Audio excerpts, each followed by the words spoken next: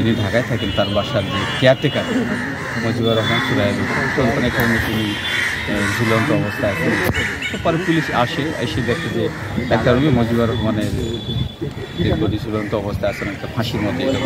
আর পাশে রান্না করে তার ওয়াইফের ডেড বডি তো তখন থেকে আমরা পিওটাকে কর্ডন করে রেখেছি, কারণ আপনারা জানেন যে এখানে অনেকগুলো আলামত থাকে ফরেন্সিক ফুড প্রিন্ট এগুলো সংগ্রহ করা লাগে।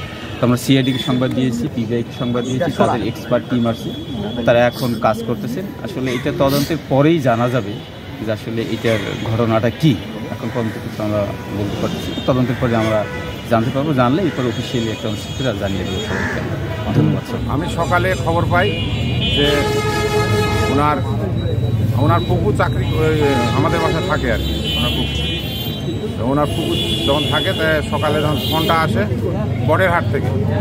বটের হাট থেকে ফোন আসে যে ওনার মামা মারা গেছে। তিনি এই বাসার কেয়ারটেকার মারা গেছে।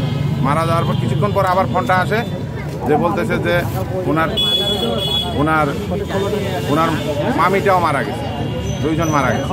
তারপর তো সকালে আমি আসলাম, এসে দেখলাম এখানে ওনার ছেলে আসছে এখানে। ছেলে আসছে, ছেলেকে জিজ্ঞাসা করলাম, জিজ্ঞাসা করে বললাম যে কীভাবে মারা গেছে? তো বলছে আমাকে, আমি তো জানি না, ম্যাডাম ফোন করছে ঢাকা থেকে। ওনার দুই ওয়াইফ এখানে ছোট ওয়াইফকে নিয়ে এখানে থাকে। এই যে সুরাইয়া বেগমকে নিয়ে, সুরাইয়া বেগমের একটাই ছেলে সিরাজুল ইসলাম। সিরাজুল ইসলাম। ও একটু অটো চালায়। অটো চালায়। এখন আমরা সুষ্ঠু বিচার চাই। সুষ্ঠু তদন্ত করে সুষ্ঠু বিচার চাই। সংবাদ, ফিচার ও অনুষ্ঠানের জন্য ভিজিট করুন সংবাদ প্রকাশের ওয়েবসাইট এবং যুক্ত থাকুন ফেসবুক পেজ ও ইউটিউব চ্যানেলের সঙ্গে।